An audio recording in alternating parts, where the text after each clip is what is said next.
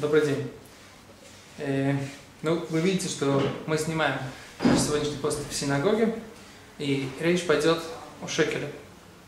Э, не связано, на самом деле, с тем, что в прошлой недельной главе читали э, главу о половинке шекеля. Сейчас речь пойдет о целом шекеле.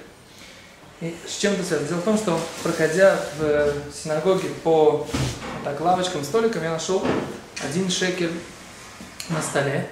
И в связи с этим возникает вопрос, в связи с нахождением этого шекеля. Ведь это же деньги, правильно? И деньги, в принципе, эти кто-то потерял. Нужно ли их вернуть? Мишна говорит, что, в принципе, деньги можно не возвращать, потому что на них нет никакого опознавательного признака. Если, даже если на них будет какая-то э, царапинка или что-то еще, это же все равно их можно потратить, они остаются в хождении. Поэтому никакого признака опознавательного на деньгах нет, поэтому деньги, если человек нашел только какую-то конкретную сумму большую, специально какую-то не там, какую-то особую сумму большую, которая может считаться примером, э, признаком или в каком-то месте, тогда только их нужно возвращать. Но оставим сейчас, когда нужно возвращать деньги. Вопрос, вот эту вот ситуацию с шекелем, как поступить? Потому что есть у нас другой закон, связанный с возвращением потери, что если у нас есть отчаяние хозяев о потере, человек не сможет это вернуть, точно, но он еще не знает, что он это потерял, тогда это не считается потерей, которую можно забрать. То есть, если человек уже обычно теряет деньги, то у нас есть такое высказывание мудрецов, они говорят, что мудрецы говорят, что человек обычно проверяет, какие деньги он потерял, обычно проверяет, открывает кошелек, знает, сколько денег у него находится в кармане, знает, сколько он потерял постоянно ощупывает, говорит Гимара, свой карман. Но в ситуации с мелкими деньгами, с мелкими монетами такого сказать невозможно, потому что человек не всегда знает, или чаще всего не знает, потерял он шекель или нет. И тогда в этой ситуации нет отчаяния, которое позволяет мне это взять себе, потому что, несмотря на то, что при...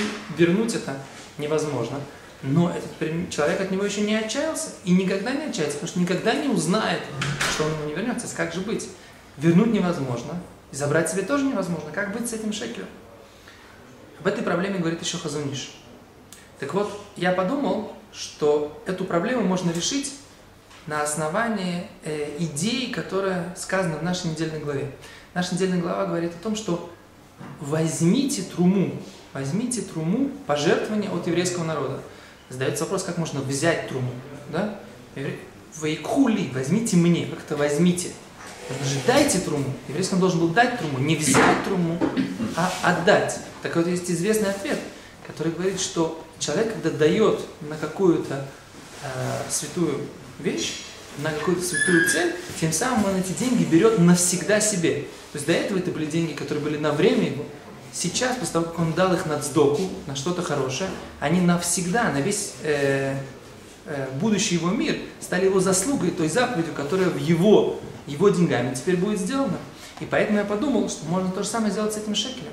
Этот шекель можно взять и бросить в копилку сдоки, и тем самым сделать это в заслугу того человека, который это потерял. Вернуть ему это невозможно, но вернуть ему заповедь, которую он мог бы сделать этим шекелем, это, это да, возможно. И более того, если он выложил ее, и она лежит здесь, может быть, он и хотел дать ее кому-то в качестве сдаки, как многие делают, на время молитвы достают э, небольшие суммы денег для того, чтобы проходящие э, люди, габаэйт сдака, которые собирают сдоку на разные вещи, можно было бы им дать. Поэтому, исходя из этих двух э, аргументов, я решил, что можно взять этот шекель и положить его в сдоку, и тем самым вернуть его заповедью, и вернуть его заслугой этому человеку, который это потерял. Спасибо большое. До свидания.